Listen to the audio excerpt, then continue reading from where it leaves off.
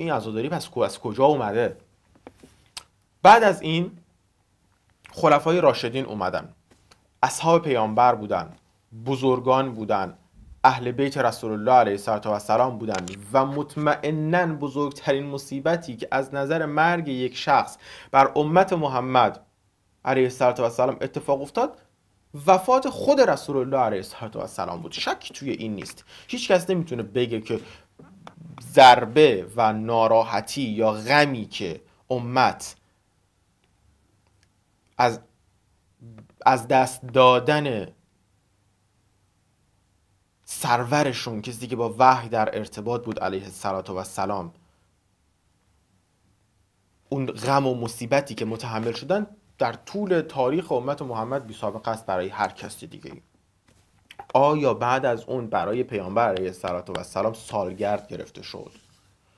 زمان ابوبکر و عمر و عثمان رو هم بذاریم کنار. در زمان حضرت علی برای سالگرد وفات رسول الله علیه السلام سالگردی گرفته شد.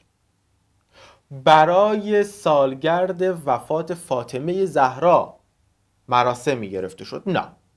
حضرت علی امام حسین امام حسن نه سالگردی برای مادرشون گرفتن نه سالگردی برای رسول الله علیه السلام گرفتن از اهل بیت. پس اهل بیت سالگرد عزاداری برگزار نکردند برای رسول الله علیه السلام بعد از اون امام حسن امام حسین سالگرد شهادت امام علی رو برگزار نکردن.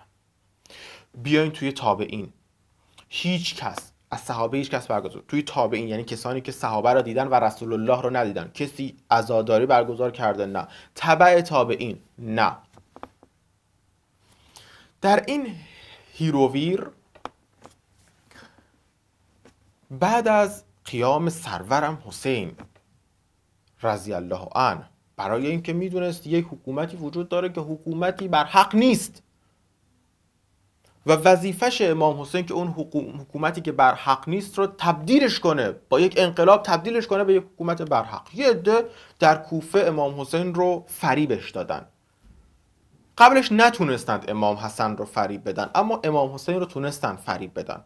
یه عده که خودشون رو شیعیان حسین می‌دونستن در کوفه بودن و می‌گفتن شما بیا اینجا ما انقدر نامه برای تو امضا می‌کنیم ما انقدر آدم هستیم ما انقدر طرفدار داریم شما تشریف بیار اینجا و حکومت رو می‌تونیم از این یزید بگیریم و تبدیلش بکنیم به یک حکومت عادلانه و اسلامی. سرورم حسین رضی الله عنه با وجود مخالفت های متفاوتی که در مدینه و مکه به چشم دیدن و افرادی که تلاش کردن جلویشون رو بگیرن چون می‌دونستن اهل کوفه خائن هستند و دروغ میگن و خیانت می‌کنن. تلاش کردن جلوی امام حسین رو بگیرن. امام حسین فریب اهل کوفه رو خورد حرکت کرد برای گرفتن حکومت برای تغییر یک حکومتی که می‌دونست بر حق نیست و در اونجا اتفاقات کربلا اتفاق افتاده. امام حسین به صورت بسیار ناراحت کننده ای سید شباب اهل جنه ریحانه رسول الله علیه السلام به شهادت رسیدن. تا این لحظه هیچ کس تا الان ادای عزاداری در نیاورده در امت محمد. هیچ کس در ازای هیچ کسی. هیچ کسی نیومده به بقیه بگه ببین من عزادارم که فلانی فوت کرده یا به شهادت رسیده. ببین من ناراحت هستم که رسول الله علیه السلام به شهادت رسیده.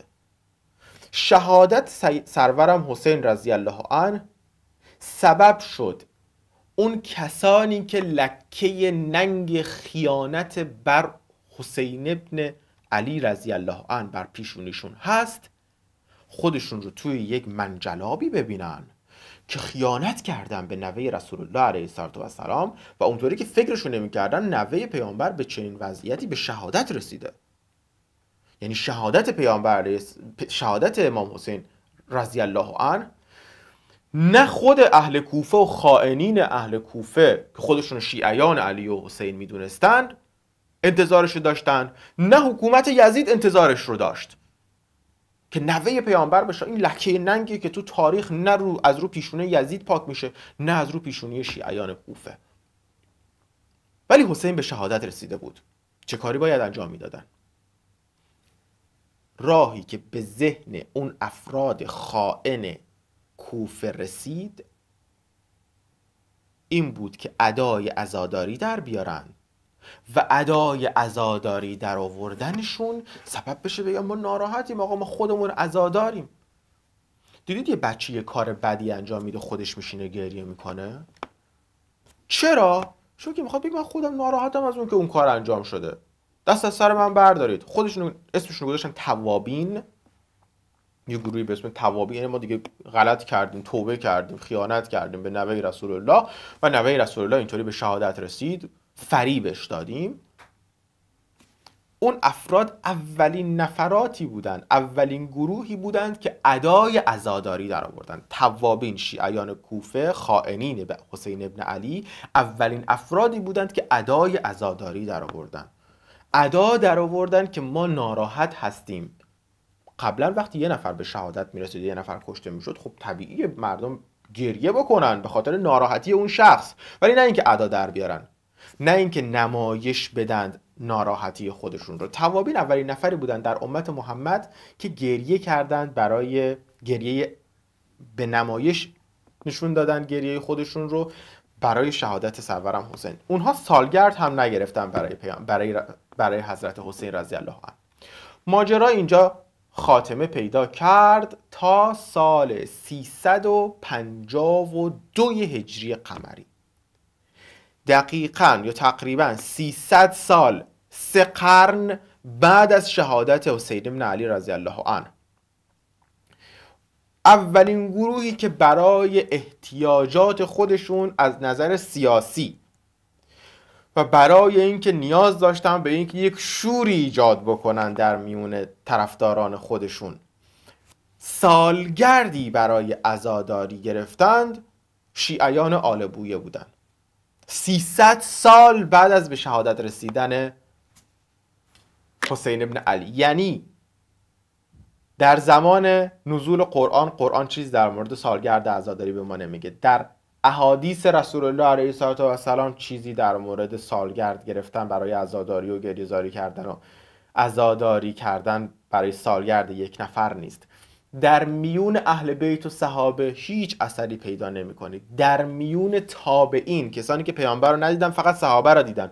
هیچ اثری پیدا نمی کنید در میون تبع تابعین هم هیچ اثری پیدا نمی کنید در میون علما و بزرگان دینی هم اثری پیدا نمی کنید 352 هجری سه قرن بعد از به شهادت رسیدن حسین ابن علی شیعیان آل بویه برای مسائل سیاسی برای اینکه نیاز داشتن به شوری که امروز جمهوری اسلامی به وضوح به شما میگه شور حسینی ازاداری و نوه سرایی رو شروع کردن و راه انداختن. گفتن امروز آشوراست درهای بازار رو ببندید بریزید توی خیابون و ازاداری کنید برای سالگرد شهادت امام حسین. چرا؟ چون به شور حسینی احتیاج داشتن. همون شور حسینی که قاجار هم بهش احتیاج پیدا کرد در مقابل روزها و ایجادش کرد در میون مردم. همون شور حسینی که جمهوری اسلامی هم بهش احتیاج پیدا کرد در مقابل صدام و کویتی پور رو آورد جلو. و سینه زنان نوحه امام حسین رو خوند که مردم رو بفرسته به جنگ. همون شور حسینی که الان هم احتیاج دارن با همون نوحه ها مردم رو میفرستن. اونایی که فریب این شگرد رو خوردن میفرستن به سوریه.